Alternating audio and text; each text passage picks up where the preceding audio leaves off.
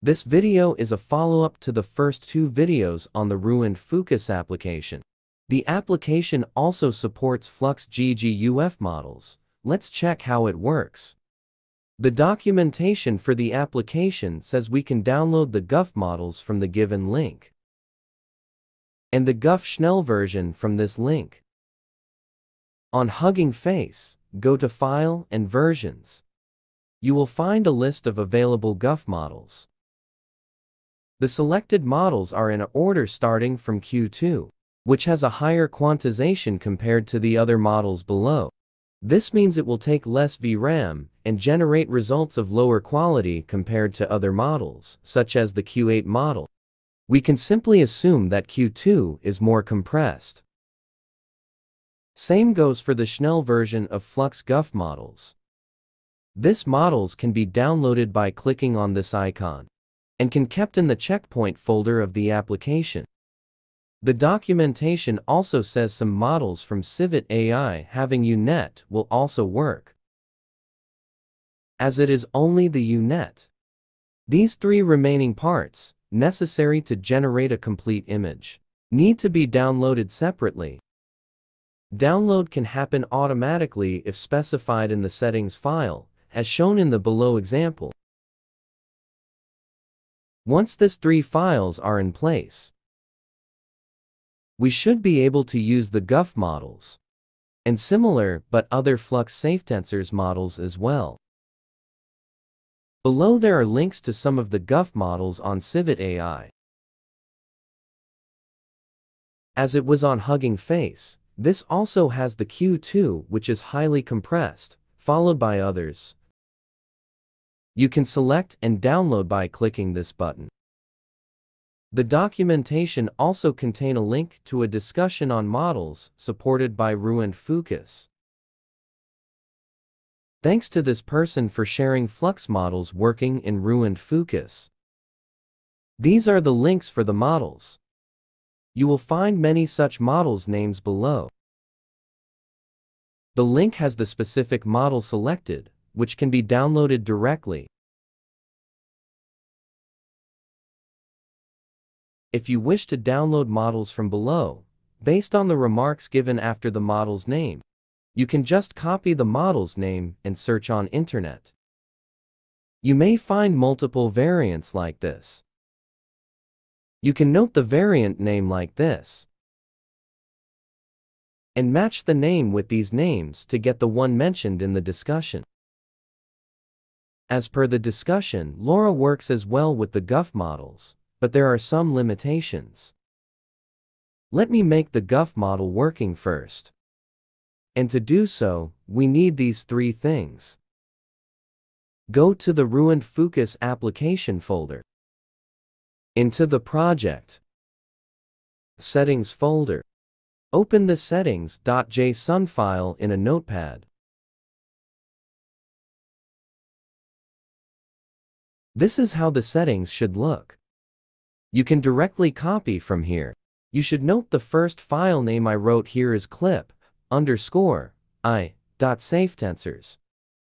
You may get an error if you write flux underscore like this. The first and third file will remain the same, no matter what GGUF model you are using. The second file may change depending on the GGUF model you will be using. These T5 files include the name Q8, I assume this is respective to the GGUF models we saw earlier. So, now in my settings, the second file is similar to this Q6. This means, the GGUF model Q6 should work with this. The third file is this, ae.safetensors. All the files can be downloaded manually from the download icons as well. After completing these settings, make sure to have a comma at the end of every like, as visible here. There will be no comma after the last line, like this. Save the file and then download some GGUF models. For this example I have downloaded some Schnell models from here. I have downloaded Q2 and 3 from the top, and Q6 and 8 from bottom. I have kept the downloaded models in the checkpoint folder. I will test this models and then a random GGUF model from Civit AI. Let's start the application.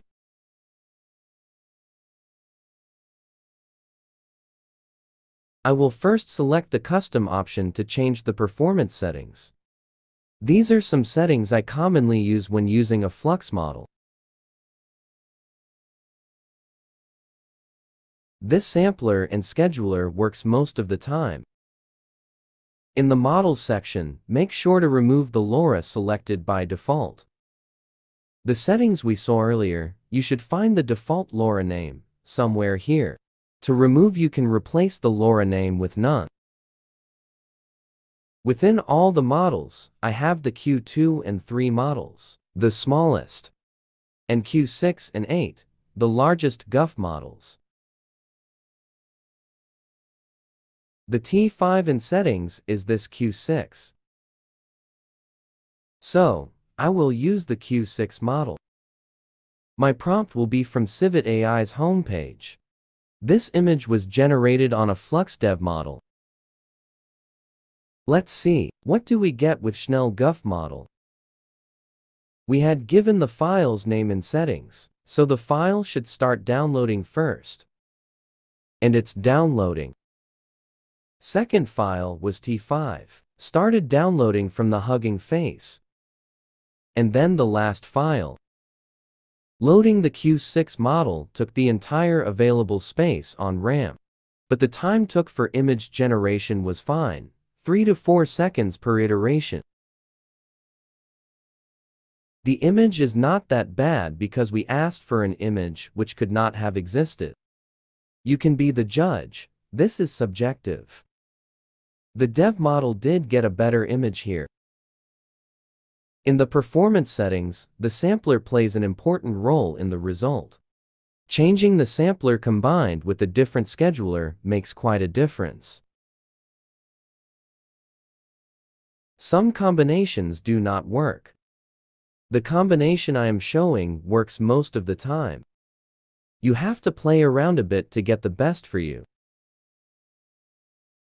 I tried changing the model from Q6 to Q2. Loading the smallest model took 37 seconds. But the image generation was quick, 2 to 3 seconds per iteration. There could be two reasons for such an image. The first is the file I specified in the settings. The T5 encoder has Q6 in it, which may not go well with the Q2 model. But the Q2 encoder was not there. The second reason I can think of is, I have used the wrong sampler or scheduler for this model. I will test this further and may update the comments section. Or you can share your findings in the comment, that will be helpful. Next, I will try a Q3 model. And the encoder and settings will be this Q3. I will select the Q3 GGUF model. And generate by keeping everything here the same. I changed the encoder in settings, but it still loaded the Q6 encoder. Make sure to restart the application after such changes. The result was with an incorrect burger. I tried changing the sampler and scheduler. After a few changes, this was the result. I did a restart to use the Q3 models with the proper encoder specified in settings. The encoder specified is being downloaded. Loading the model took 2 minutes, but image generation was quick. Changing the sampler made the burger go wrong.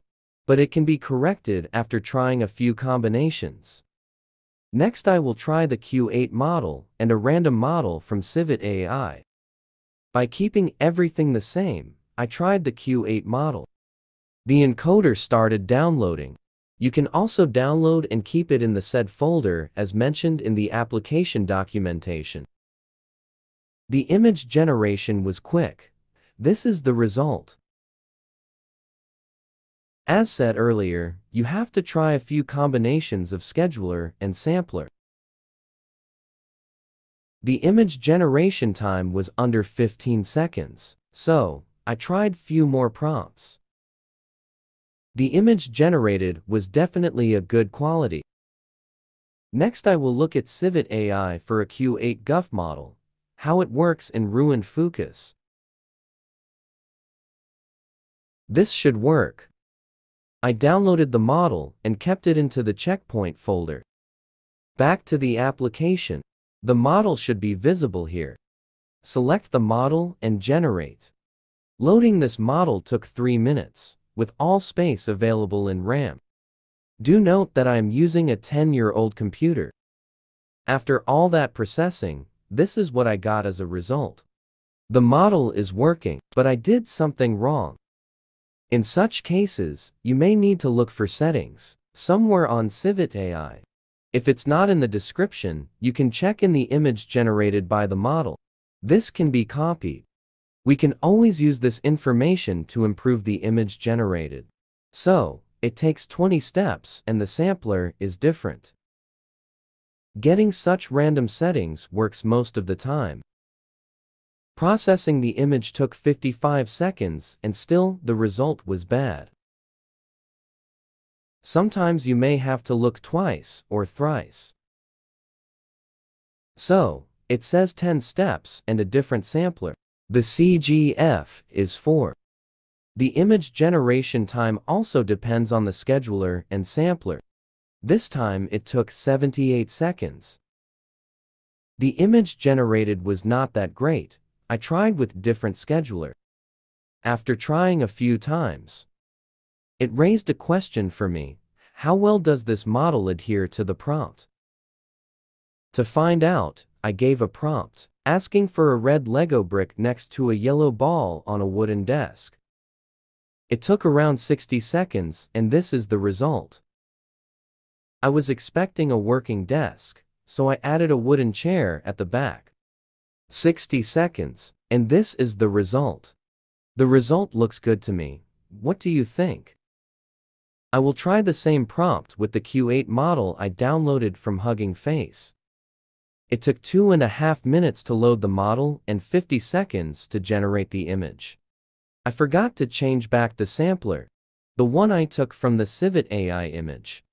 The second image was under 30 seconds, and the result is okay. I asked for the brick next to the ball. I was expecting this brick to be somewhere here. It should work with human subjects as well. Let me know if you have tried the GGUF models.